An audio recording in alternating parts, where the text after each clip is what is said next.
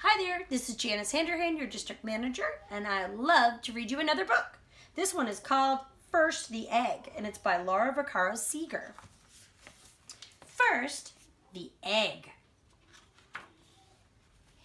Then, the chicken. What does a chicken say?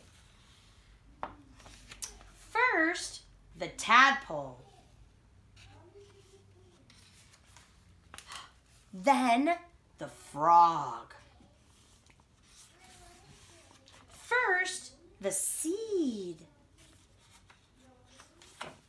Then, the flower. First, the caterpillar. Then, the butterfly. First, the word. Then, the story.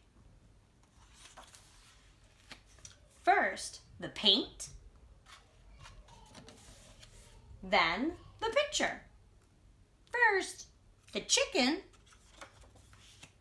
then the egg. The end. I hope you guys enjoyed it. Have a wonderful day.